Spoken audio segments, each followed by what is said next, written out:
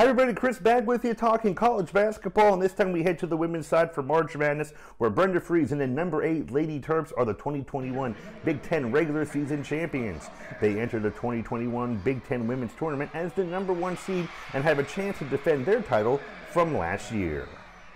I know for us now as we uh, you know get ready, we're looking forward to the Big Ten tournament. Uh, we understand the fact that it is a new season.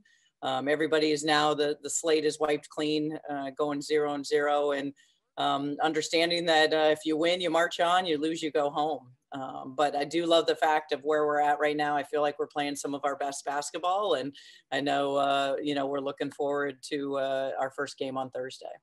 We lost um, a lot of players last year, um, a lot of great leaders. Um, but you know, as a sophomore and my other sophomores, um, you know, we know we had to step up, right? Being that we brought in basically a whole new team. Um, yeah, and just taking on that leadership role and, you know, coming more out of my shell for myself, um, like with speaking more and being more vocal on and off the court um, during games and in practice and just helping my um, other teammates around me.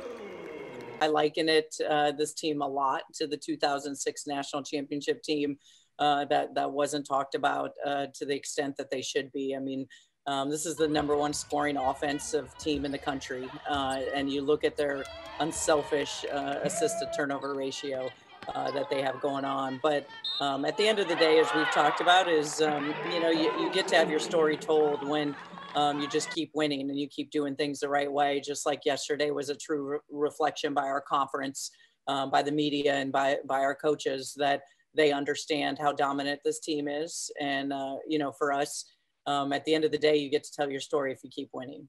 Now, being the number one seed, the Terps have a double bye. They will take on the winner of Nebraska Minnesota in the quarterfinals on Thursday at 11 o'clock in Indianapolis.